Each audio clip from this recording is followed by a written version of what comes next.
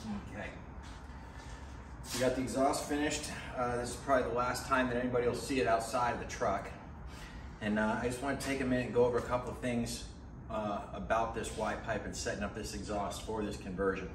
Again, this is uh, this Hummer is still using is is using the same exhaust that came out of the Chevy Tahoe with the motor that I pulled out of the Chevy Tahoe. So the exhaust manifolds are from a Chevy uh, 2008 Chevy Tahoe.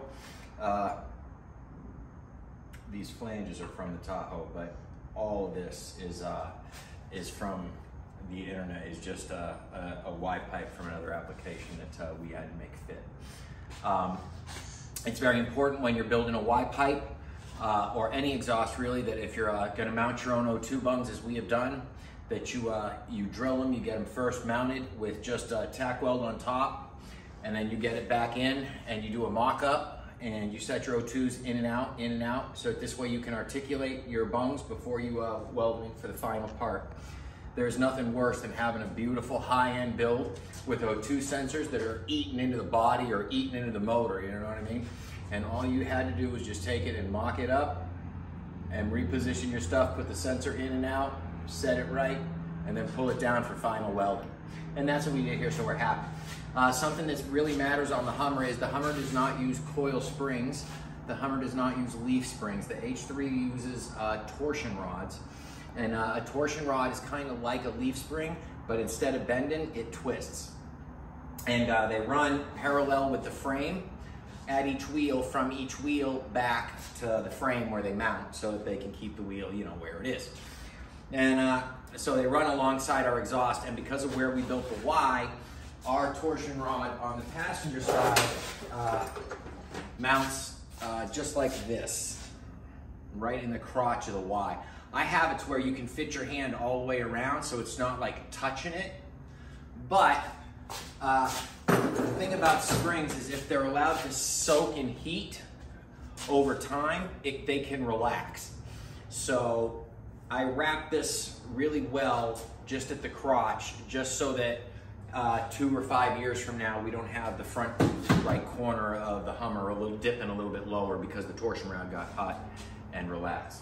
And aside from just this, I uh, we also got some of this uh, DEI heat wrap that we will actually, uh, it, it's Velcro, and we'll actually wrap this on the torsion rod itself just to make sure that that torsion rod is really, really well protected so there's no issues uh, down the road or moving forward.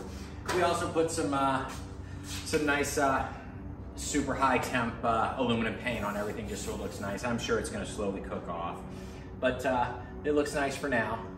And um, we're gonna straight pipe where the cat was for now. Later on down the road, maybe we could entertain getting a pair of cats in it or one large high flow cat or something like that. But right now, there's uh, there's not a lot of room for that.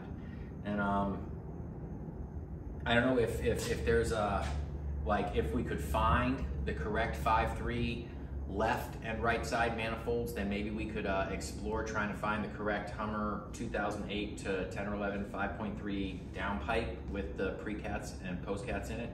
But to be honest with you, at this point, that would uh, that would that would do really bad things to uh, to the to the bill here and uh, and the cost of production.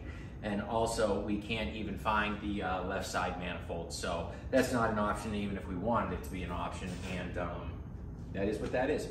Uh, it also has a BTR Stage 2 truck cam in it, and the truck cam honestly would much rather be happier with, uh, with this than the, all the restriction of, uh, of a catalytic converter. So it'll be all right. Here in Florida, we don't really do the uh, IM240 testing, so uh, for now it'll it'll be okay. And maybe later on on a subsequent thing, we'll uh, we'll try to sell her some upgraded exhaust if we can find it. It, it is what it is.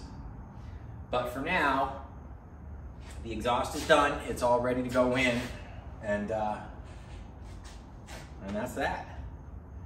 Get them going. Tomorrow we should be ready to start up on the electrical and getting our second ECU working to drive the engine and transmission, while the primary ECU from the Hummer is still uh, there, driving everything with the body and communicating with the body with a specific goal of us having no check engine light, no warning lights from the uh, traction control or the ABS or anything else, and still having this engine and transmission driven with the uh, new controller.